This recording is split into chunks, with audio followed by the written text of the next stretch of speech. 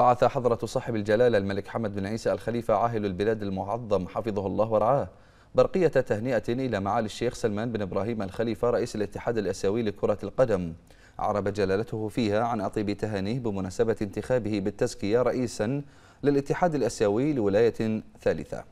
وأشاد جلالته بجهود الشيخ سلمان بن إبراهيم وساماته الطيبة فيما تحقق من إنجازات ونجاحات متميزة في مسيرة الاتحاد الآسيوي لكرة القدم وتطوير مستوى كرة القدم في القارة الآسيوية وتمنى جلالته له دوم التوفيق والسداد.